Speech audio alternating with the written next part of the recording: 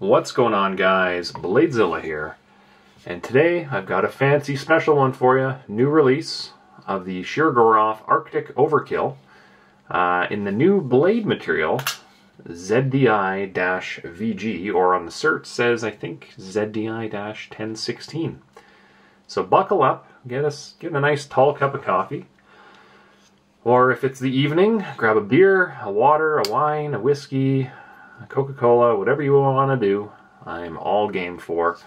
Uh, but today, this is what we're talking about. Real cool, really cool collaboration piece from Shirogorov and RJ Martin. So the Arctic Overkill. Where do I start?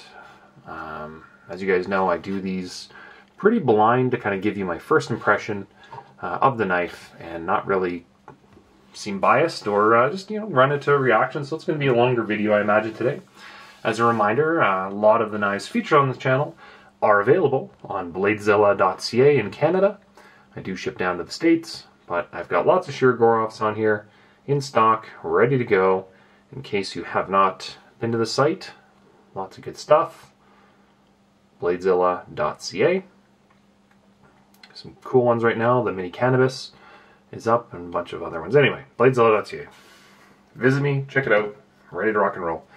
That's not what we're here for. We're here for this. So, let's kick things off, uh, I guess, with some measurements. I don't have uh, I don't have a spec sheet in front of me, uh, but we'll make we'll make use of what we have. Kind of learn as we go, figure things out, and uh, all that good stuff. So let's get started here. Um, overall length, we're coming in at uh, about nine inches. Uh, is that about right? Does that like bang on? Maybe a hair over, maybe a hair under, somewhere in that conversation. Uh, blade length of 4 inches, and handle length, lo and behold, probably around 5. 4 and 3 quarters, somewhere around there. 5. There you go. But that's kind of how it stacks up. In terms of comparisons, well, I do have a few uh, that we're going to talk about here. I've got a, an Arctic. Sorry. Well, I obviously have an Arctic. Uh, we've got the Denim Overkill right here, and I believe, do I, I have my Russian Overkill as well? which is probably a real nice spread of knives to kind of compare it with today. And, and I'll obviously go through, you know, F95s and Astrums and uh, all kinds of other stuff, Quantums, uh, things of that nature. But uh, these are going to be the kind of three I'm going to focus on, given that uh, they're kind of the closest to this model. And the denim being the most recent of the collaboration piece. Um, if you kind of recall, I guess we could probably start with walking ourselves through the series of the RJs where they did the soft overkill to start, which is kind of a micarta handled version or variant. Then they went into um, the Russian overkill, which is this beautiful beast right here. And I think I've done a video on this knife at this point that's up, been uploaded. Um, not this knife, but uh, another one. Uh, this is my personal knife, but uh, Russian overkill, full tie, uh, I think it's S90V or M398, I can't remember. M398, I should say right in there. Try not to bump the other knives. M398, but uh, this this one is the one that everyone kind of, you know, in the series they love because it's full tie, it's milled, it's micro milled, it's beautiful, etc. Uh, it's unique, obviously, and uh, less of them. Uh, versus the soft overkill, there's a lot more of them available. I think there's like 300, 100 in each color. Uh, and then from there, they went into, am I missing, RQ36, which was a liner lock, uh, not a frame lock. And what else did I miss there? They obviously went into the Molten Overkill, which is essentially this knife in MagnaCut with a carbo tie inlay. And then the Denim Overkill, which is obviously the denim, as you can see, with I think it's S90V. Yep, S90V, which is a real banger of a knife. I really like this one as a as an everyday knife, um, just because it's kind of a different color. It's got a got some texturing to it. You know, it's a real nice fit in hand based on how the actual um, inlays are not parallel with the handle. It's, it's, it's really cool, really cool knife. Lots of it's a good feel, good fit, but um, in terms of the recent launch Look at the difference in blade thickness. when I first saw this knife online, I was like, ooh, that's going to be an interesting one because it's light. It's feather light, but I think the, the coolest feature is that it is a 3 mil blade. And I'm going to grab that Russian Overkill one more time to show compared to the denim, which is even thicker, if it wants to focus. There you go. Uh, even thicker than this. So I think this is 4 mil, the denim is 3.5 mil, and then this guy is now 3 mil. And I'll try, how can I hold these without clunking them together here? I'm changing hands. So I'm going to go Russian Overkill on the left, and then Denim in the middle, and then Arctic on the right. So four, three and a half, three, really cool. Um, you'll obviously look at the, the designs on the knives, and they're all pretty similar in the functionality, you've got the four jimps in the top, uh, on the handle, right, which is actually really cool in the Alutex. They did that. That was one of the things I was a little concerned going to a carbon front scale. But they maintain that, and uh, really, really nicely done. So there's a nice little spread. I'm going to kick these other two out because we're going to focus more on the Arctic today. As I've done a video on the denim, I've done a video on the Russian Overkill at this point. So those can kind of go back into my personal case. Um, and then before we get started, do we want to see some other comparisons? I can do F95 today. Uh, that is the F5 Silk Slim for reference, which will appear big because it's at the bottom of the frame, but the camera's pretty over top of it today. Uh, I will do Astrum Custom Division as well, which is a fantastic knife. Absolutely fantastic. Um, we've got some neon, or let's do Hattion today. There's your Hattion, which is a neon custom division with a carbon front scale, which is actually probably more relatable to this knife given that it's carbon. Right. Let's kick that Astrum out of here. Uh, we can get into the Quantums which is essentially uh, this is a quantum blue, but essentially a you know a, uh, a really fancy quantum, but same size as an F95, very similar size to the uh, Russian Overkill, Denim Overkill, Arctic Overkill, blah blah blah, Molten Overkill, uh, etc. And then from there we can get into some of the other collaboration pieces. We can do the Vegas V cards, which is a terrific Sinkevich knife. And then in the other collaboration series, um, can obviously do the Kami, S110V blade on that, asymmetric grind, which is incredible in person. Um, asymmetric meaning if we look at this from the side, look at the grind lines, then I flip it over, and now look at that grind. See what I'm talking about? So look at the bottom, see how it's a little bloop, I flip this over, completely different grind. Super, super sick knife. And uh, one of my faves. And then inside the Bio series, we'll grab the Bio, I didn't even look, I think this is the Light. Yep, Bio Light, which is another collaboration piece. And then inside more Sinkevich, what do we want to do? When we run out of knives here, but we'll do the uh, Sigma, put that in the middle which is a super swoopy piece, and then the Pero, which is uh, a little bit different, but uh, Vanax and super sick. So there's some carbon uh, carbon beasts to compare it with. Um, and then I've got a Stellar somewhere here I can grab just because we did the neon. Uh, but there's a Stellar in comparison as well. So, and a reminder, like I said, you know, when we compare the knives at a bottom to top ratio, things change. I'd say this is more fitting of the actual sizing, the ones on top, uh, but they do kind of look a little smaller. Um, and then I could also grab uh, the mayo here. Let's sandwich it up top. There we go. Tom Mayo, Dr. Death, probably one of my favorite all-time uh, special edition collaboration pieces, just based on the fact that it's roller bearings. It's all plain Jane milled, and uh, if you know anything about me, I just love simple tie, milled like crazy. I also like having logos on it. and uh, just a super, super sick knife. Technology in this one isn't as uh, advanced as some of the others in the in the series, mainly the Arctic, but nonetheless, very cool piece and uh, something that is one of my faves when you look through the clip and it goes right through the handle on both sides. I think that's just real cool. So, anyway, that's kind of it. And I did the F95. I'm just trying to go through the case beside me here um, for anything that I've missed. I always seem to miss about three or four dives after I film, and I go, oh, probably should have done that. Um, I guess I'll do a Hati as well because just because it's carbon and it's beside me, and I guess the theme of this carbon. So, uh, and it's production knife. So there you go. There's your blue Hati, which I think I've got uh, a number of these in the store just because I thought I really loved them, and I actually have one in my own case. So I think the blue on this is incredible, and I think I actually have a Halloween one still in there too. So um, anyway, kind of going off track. I feel like I'm at a 10 minute mark and I've really talked nothing about the knife. But uh, let's get on to it.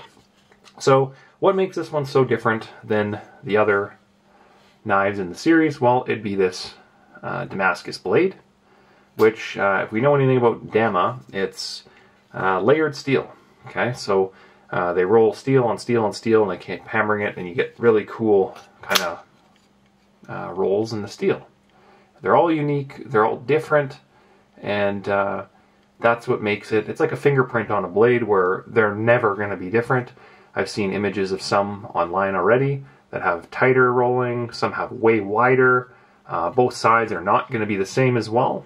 So when we look at this particular one, which is uh, just for future reference, if anyone wants to know, I think it's number 56, which is written on the inside of here, which I may as well show.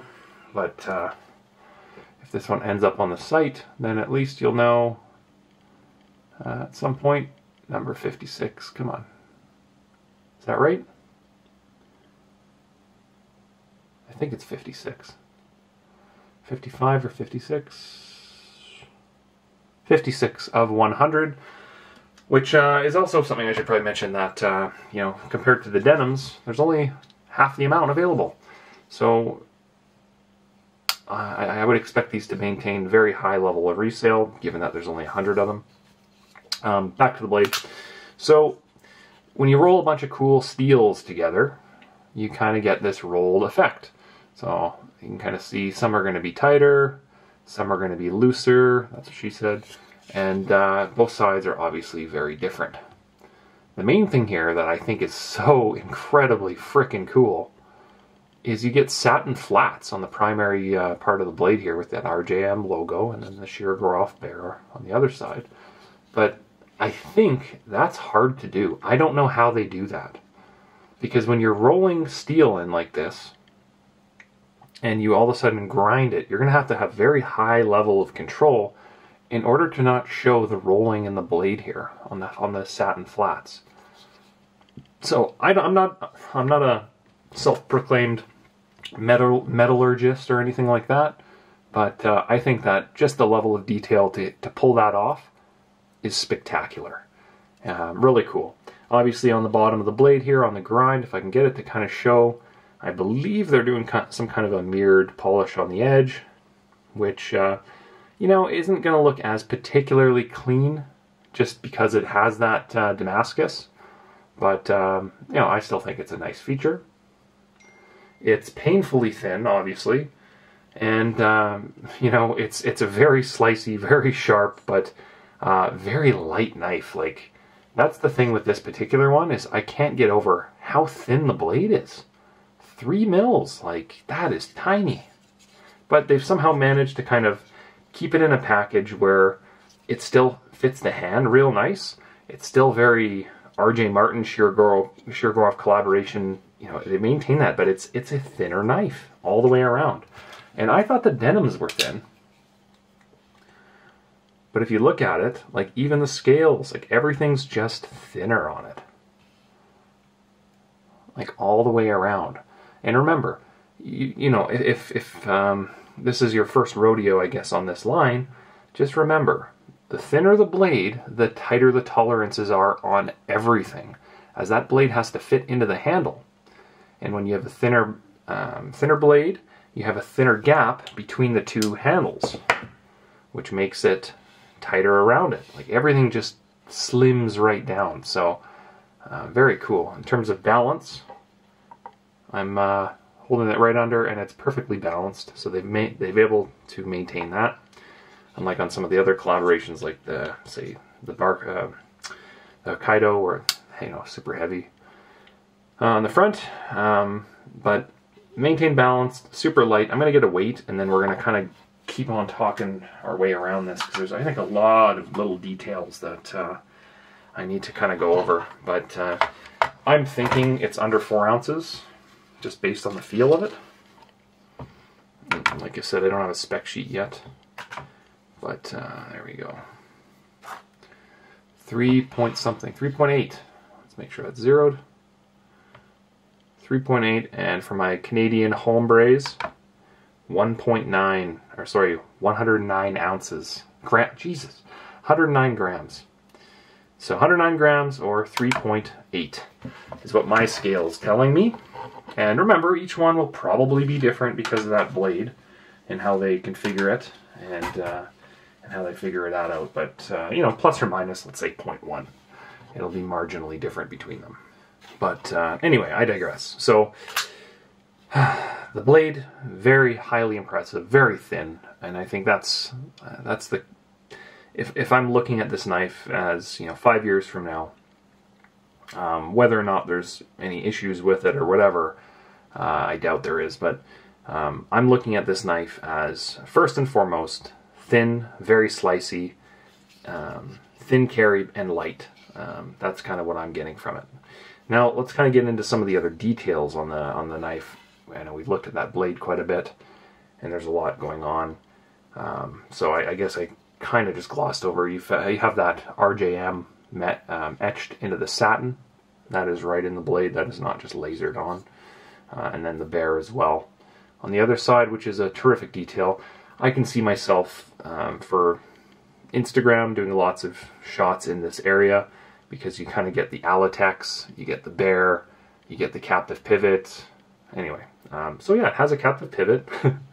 captive pivot being uh, on, on, the hardware here, there's a ball bearing in a hole um, that's drilled in so that this doesn't spin. It's a, it's a, it's a blank uh, essentially, whereas the real screwing uh, goes into the back here. Uh, on this, where you use a Shirogorov tool, which uh, on this knife has both the flat bit as well as the reverse custom division bits. So you're going to need a tool like this from them, which are typically for sale at shows. They're individually numbered tools. On the top, you'll see uh, custom division somewhere if it's going to focus. Um, there you go, custom division number 47 is this particular one. And just the carbon handle, all five bits are inside, so four flatheads and one reverse bit. The reverse bit is what will do the uh, the handle, which is cool. Oh, so beautiful. But under that captive pivot, like I said, is the ball, which prevents it from spinning. So when you tighten this up, loosen that up, it doesn't move around, which is a nice touch. And then obviously the reverse bit on the handle there, which is, think of it as a flathead, but reversed. So chunk of steel in the middle, or in this case, I think titanium, and then uh, holes around the edges. If we flip this guy around the back, we can uh, see some pretty cool details as well. So micromilling, like an absurd level, uh, kind of in a rotational manner. I'm looking, there's, to me, I'm looking at two planes here. So one would kind of be centered around where my thumb is, with, uh, fun fact, I cut off a corner of my nail and it's growing back. I apologize, so I'll just hide that in the back here. But you can kind of see on the milling, so there's kind of two planes, right? A rotation, like a what's the word I'm looking for? Like a rotation around this direction, and then it looks like another one kind of starts on the other side because it curves back the other way, which is probably rotation rotating around the lanyard hole, uh, if, if, that looks about right. Um, obviously, we're looking at some coarseness changes as well. Um, really, really tight in the front area, and then it loosens up both in uh, uh, depth as well as kind of centering. So it changes, which is cool. All I'm trying to get at here is that that milling really changes as it kind of goes back. The milling maintain is maintained underneath the hand or uh, the pocket clip as well, which is a great feature. The pocket clip has a bevel on the side that lands on the track inside here, which means that when you're holding it in your hand, your fingers holding it like so, that pressure is pushed onto the pocket clip, which is then pushed onto the frame instead of the lock bar, which means when your hand is on the pocket clip, there's zero resistance to opening the blade.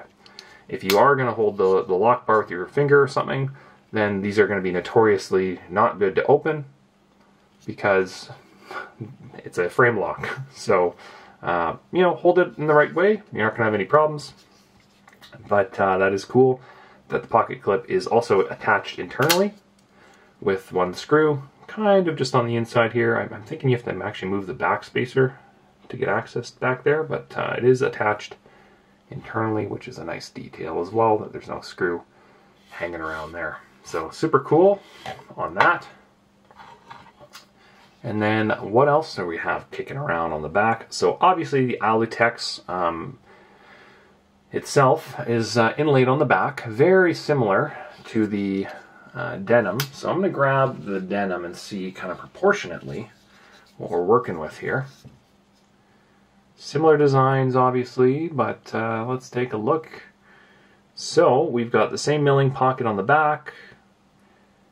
We've got, uh, I don't know if I'm crazy or not, but I think the denim might pop out just a little higher. Um, just a little bit. It may not. Um, and then as you can see, there's actually some changes. Like, huh. So because of the way the denim attaches, see how the bits are now reversed as well? So on the denim, there's no, they flip the hardware around. So underneath that is, is the back hardware, right? Whereas on the front, you have it here. And you flip that around, and now we've got no hardware on the Arctic, and we've got hardware on the denim. So that's a bit of a subtle design change that's kind of happening there, um, which is maybe a way that they get around getting those frame's a little thinner. That's a nice little thing. But yeah, I, I noticed to me, I'll try to get close to look at this. You know, what do you guys think? Do you think it's thinner on the Arctic? A little chunkier on the denim? Certainly a heavier knife. Interesting. Um, on the lock bar itself, we can see, uh, let's get rid of that. On the lock bar itself, we can see that uh, we have a lock bar insert slash over travel stop, which is kind of just peeking through the back here underneath the uh, underneath the knife. You can kind of see it, but it is it is peeking through. Um, lots of milling around that pivot as well with a nice matched collar, it looks like. To the back spacer, I don't know what material the back spacer is. I will find out. Uh, but just based on looking at it, I'm assuming that it's uh, probably a stonewash tie.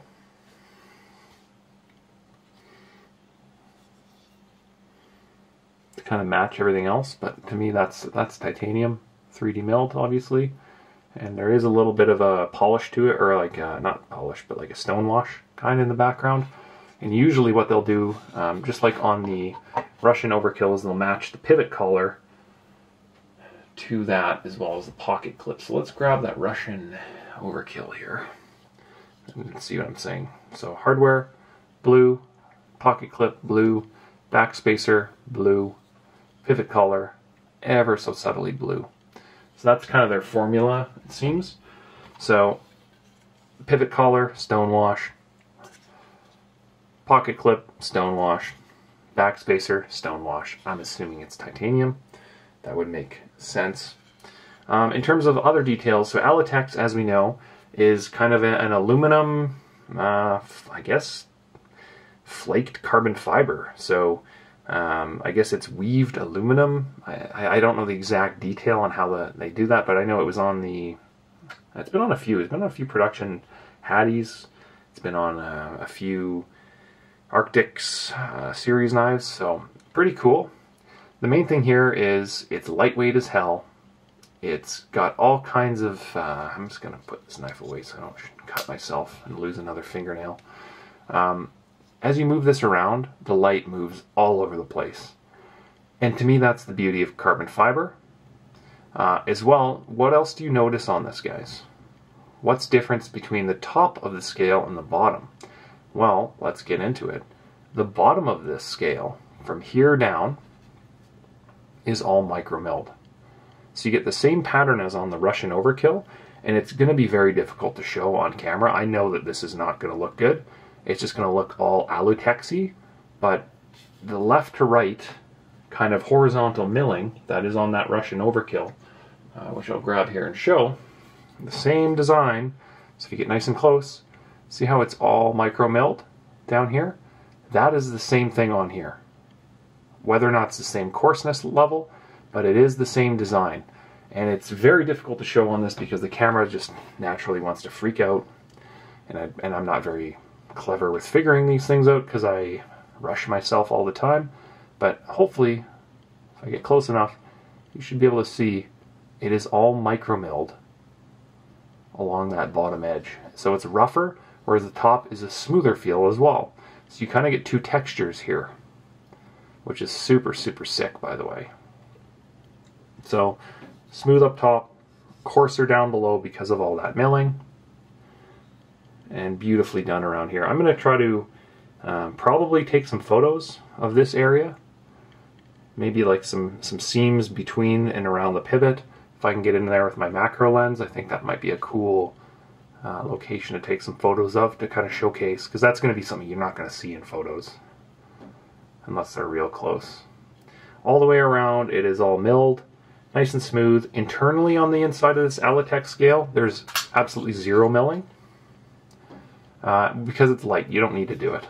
You know, on the other side, it is milled out like a uh, like a crazy skeletonization situation. So we've got lots of lots of weight removal on the inside. Maybe it shows better like this. But you can see pockets, obviously. So yeah, lots of lightweight detail on, on the tie side. Zero milling on the Alutex side, other than around the edges where it's all nice and smooth and soft and supple. Um, I'll work my way up to a couple other details, but I guess one of the cooler one is actually on the lanyard hole. So we have a lanyard hole. That's a nice little touch, obviously.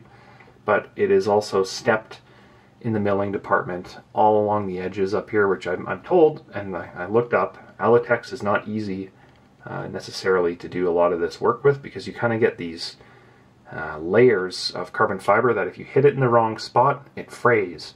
If the, um, what's the word I'm looking for, the adhesive, the glue that they use, if there's air bubbles, etc., you it can really screw things up in this in this type of scenario, which causes wastage, which causes you have to redo an entire scale.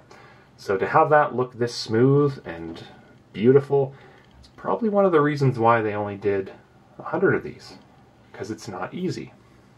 But you get a lanyard hole, it's built into the side, it looks great. Um, I think this is going to be incredible carry.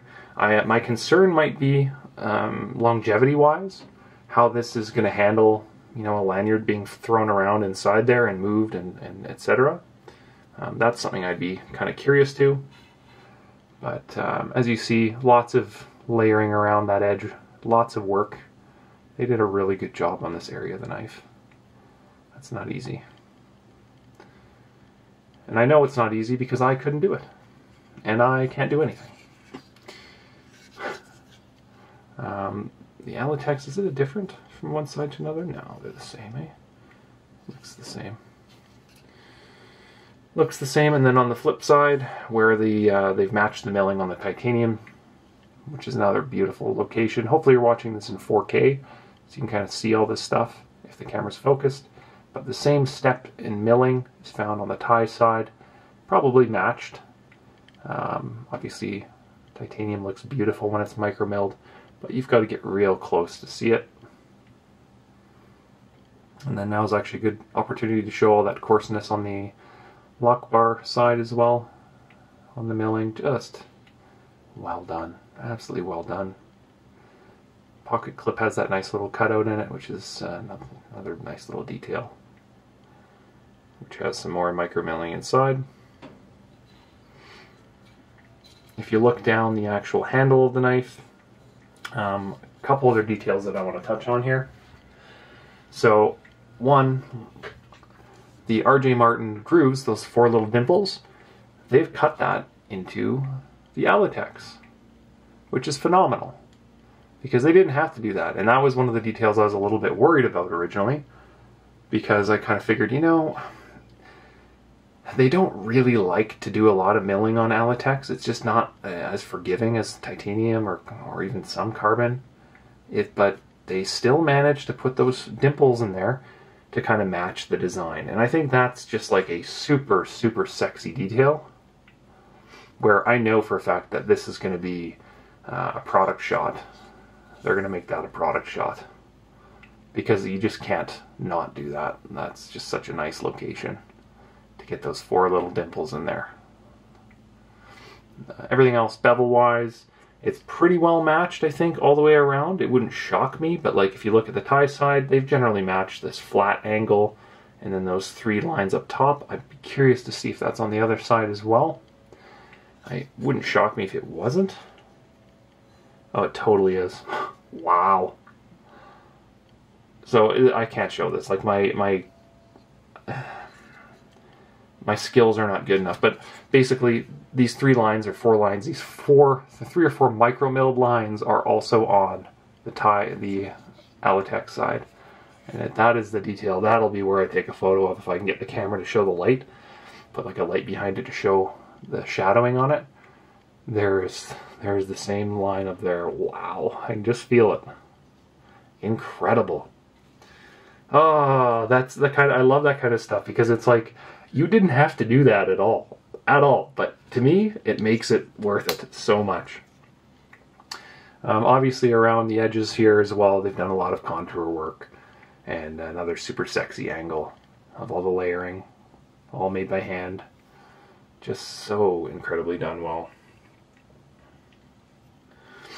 In hand, it definitely fits nice, just as nice, if not better than all of them but it's lighter, it's thinner, it's a different feel. So if you've got, perhaps maybe you felt like the old Russian Overkill or the Denims or the Machs, the Moltens, maybe you felt uh, they were a little chubby, little chonky boys, or maybe your hand was a little small, but now maybe it's a perfect fit because it's it is thinner. It's a very thin, well done knife. Um, what else do I have here? I talked about the jimping on the blade, which is done beautifully well you can actually see, uh, I thought you could see layering on that if you get close enough. It's kind of hard for me to see, but typically with Dama, with Damascus, if I get close enough, you should be able to see the layering and all the rolls. Hopefully. I can't really see right now because I'm staring at the back of a tripod, but maybe you just saw it, I don't know. I'll have to take some photos and get close. I don't have the best eyes in the world, so. Um, the other thing, RJ likes to tune their detents. So on this particular one, when you load it up, or I should say you should be able to load it up and see some flex in the knife here. So see what I'm talking about? So that detent has to actually break and uh, I will try to launch this as slow as humanly possible just to break the detent ball out of the hole and it should, it's known to kind of open fully at just about any angle here. Yeah, that's as slow as I could open that.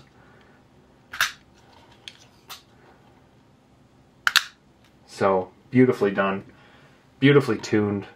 Um, I believe the detent balls on these are ceramic.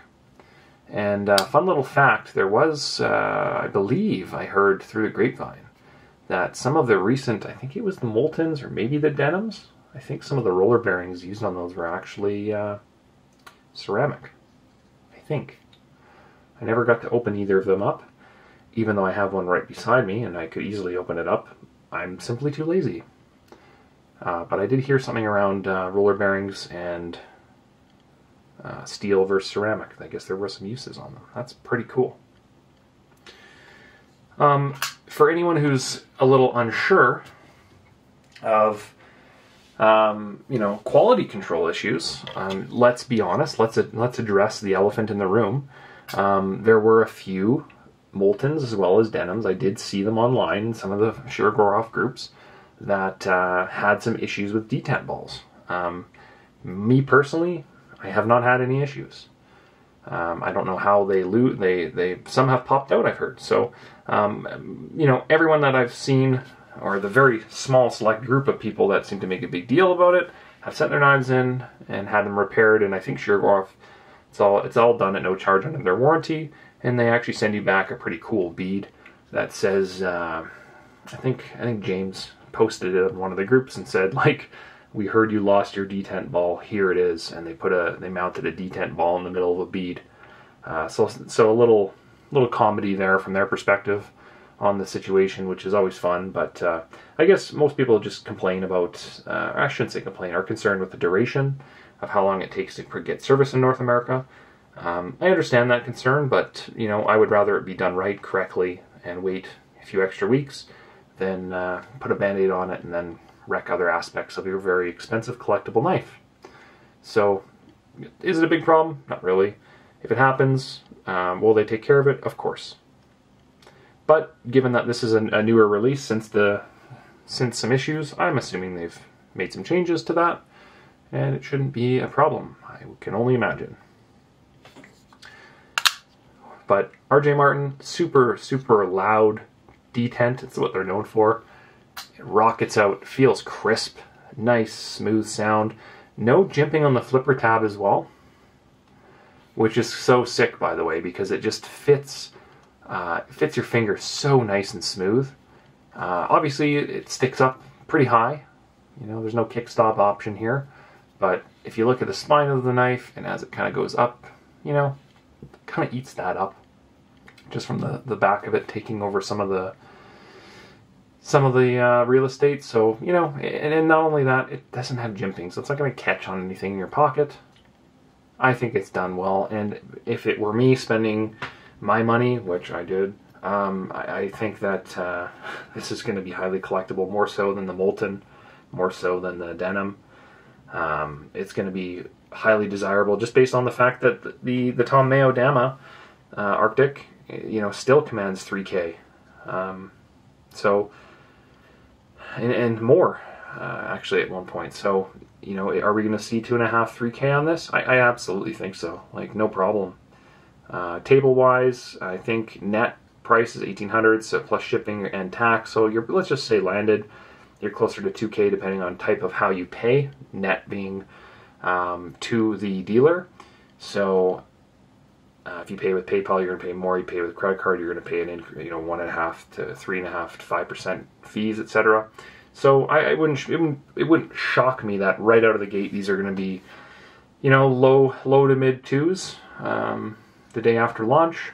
That seems to be what they'll be, and then uh, from there probably just going up over time because there's less of them than the denims.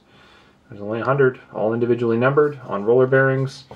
Uh, roller bearings. I didn't even mention that. My goodness. Where's uh, where's my roller bearing marking? It's usually inside here. Let's take a look with the light. So we should have a little logo that should pop up behind the hardware. Yep, right in there. That's that's what we're looking for. So roller bearings um, are like hot dogs. They're they're needle bearings. So a standard knife will have, uh, in Shiro's world, the standard knife is like everyone else's bearings. Single row bearings, which is, if this is your, your bearing track, you'll have them in a circle. Multi-row bearings will be kind of two to three depending on model. Bearings in a pinwheel pattern, kind of like the rays of a sun.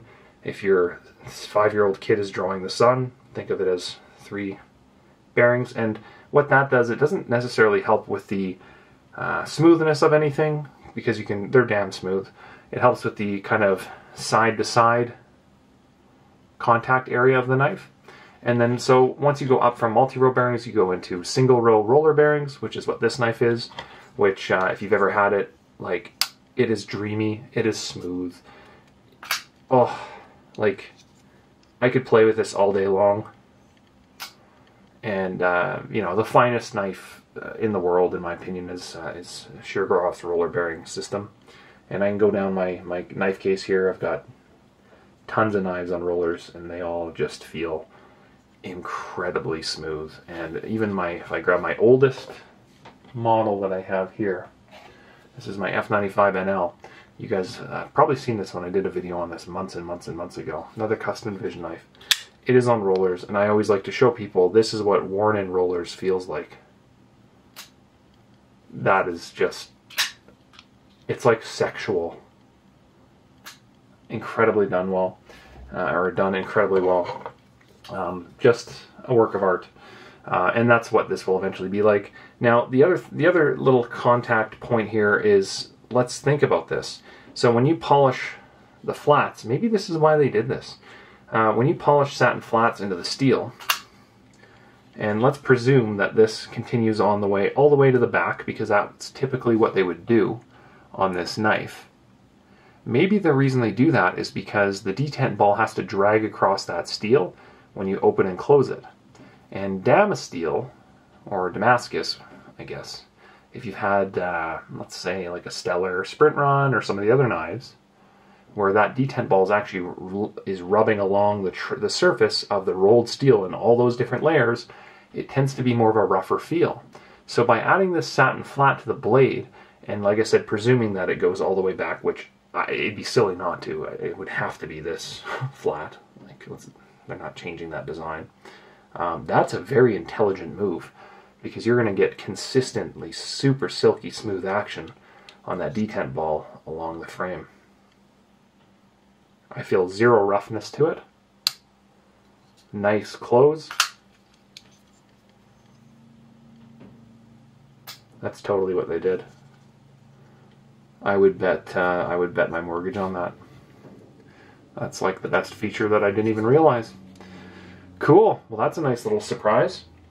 Um, I'm just trying to think here, running over. So I said they're one of a hundred. I've talked about the uh, ZDP-1016, which I believe is what their cert or their COA said on it.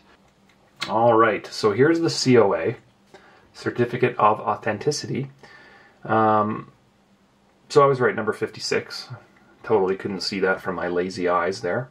Uh, Blade Steel ZDI-1016. So I think the official literature on this is ZDI-VG, as in very good. I don't know 1016, maybe that's just a steel term that I don't know anything about, uh, which is quite possible. Uh, but VGI might be like the trade name on that. But I, I know that on the Astrom Sprint Run, it was ZDI, I want to say it was ZDI E which was for Elmax. So VG might be a trade name for something, whatever this 1016 is. Uh, I'm not too sure. I do know that it is not a particle metal. I read that somewhere. Versus like Damasteel is. So VG. Hmm. Don't know what that stands for. Vegas. Very good. Hmm. Uh, single row roller bearings, number 56, 2024, which is cool. RJ, Mar- RJ Martin is signed as well as Shirogorov, so if you have any of RJ Martin's checks that you need to cash, there's his signature. Uh, I, I make myself laugh at, at least. So, anyway, I've talked about enough. I think, uh, you know, in hand fits well. The, the jimping on the thumb is beautiful. You can choke up just about anywhere along the blade you want. It's, it's a beautifully done steel. Um, all individual, all different looks and feels to them. Uh, likely different weights, I imagine, not by a little bit, but uh, I just think it's unique when you get a knife that's in this kind of category where they all look different. I think that's going to be super, super cool. Um, obviously no jimping on the blade, but those satin flats make for a smoother, in my opinion, knife uh, with that detent ball. Uh, I'm assuming there's maybe a ramp on there. It's pretty smooth. Well, maybe not. Ooh, the sound is incredible. Action is beyond belief. The uh, the detail milling on the Alutex is off the charts. It is contoured quite nicely as well. I'm trying to roll the knife to show that. I know the Alutex kind of hides focal points, so from your perspective it's kind of tough to see. The hardware is on this side, much like the, uh, where is it here? The uh, Russian Overkill, which I believe, no, holy smokes, stop the presses. So there we go. Another detail that was uh, different between the two. Hardware's flipped on this one too. Wow. So I guess on the show scales, that's uh, another little detail. Is you? Uh, I wonder if they did that on all the or on the Molten as well. I'm assuming the Molten and Denim are going to be identical. Uh, but cool, nonetheless. They flipped it. My ones on the sock, maybe. Um, the inlay on the back, to me, beautifully done, and also once again just adds to the whole balance of the knife in that it is not parallel with the handle. Uh, we've got an internally mounted um, lock bar insert, which is cool because you're not going to fiddle with it externally, but it's cool. The milling is incredible. The inlay is beautiful. It's got a lanyard hole, micro mill on both sides of that lanyard hole, uh, both in the ti as well as on the Alutex. And then uh, obviously the, the jimping points behind the flipper tab, incredible.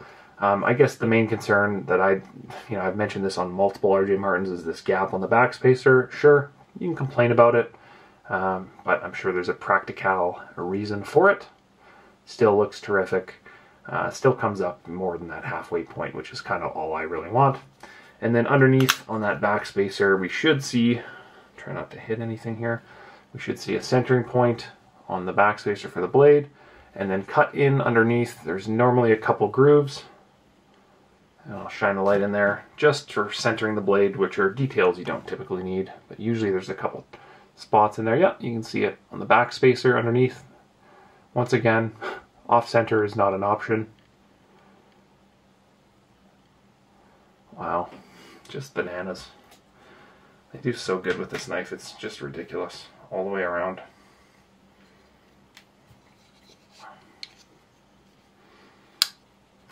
Um, otherwise, I'll figure out whatever the heck this uh, VG very good steel is, um, aka 1016. But Zladinox is pretty freaking cool.